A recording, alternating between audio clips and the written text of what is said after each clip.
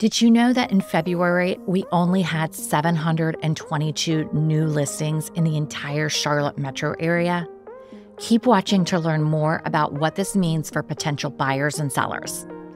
Are you considering buying or selling a home in the greater Charlotte area? As a local realtor, I want to give you an honest and informative update on the Charlotte housing market. Hi, I'm Becky McCully, and I'm here to provide you with an in depth analysis of the current Charlotte housing market trends. In today's fast paced real estate world, it's easy to get caught up in clickbait headlines and misleading information. But I'm here to pull back the curtain and give you a real understanding of what's happening in the market. While the current housing market may not be ideal for everyone, it doesn't necessarily mean that it's dire straits either. Are you interested in learning more about the weekly metric that I follow? We'll keep watching to see what that stat is and why it is a crucial indicator to monitor. All right, first things first, let's talk about new listings. In February, we only had 722 new listings in the entire Charlotte metro area. Yes, you heard that correctly. In the entire Charlotte metro area, we had less than a thousand homes put up for sale. This is a significant decrease compared to January, which had 2,936 new listings.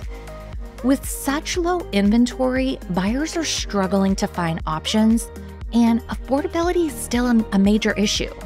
So, if you're a potential home seller, now might be the best, you know, the best time to take advantage of peak pricing and get the most out of your investment.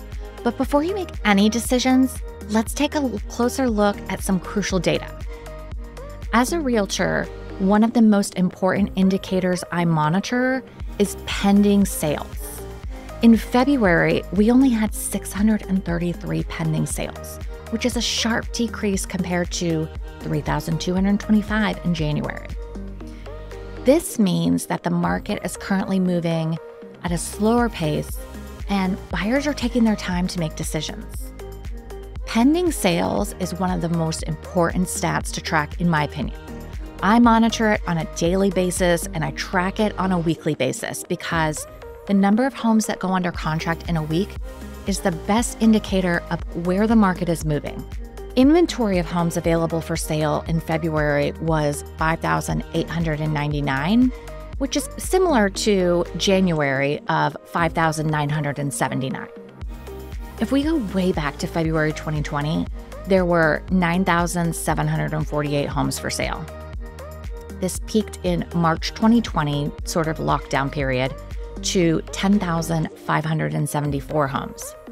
Then it went on a fairly rapid decline and has been staying between 4,000 and 8,000 units ever since.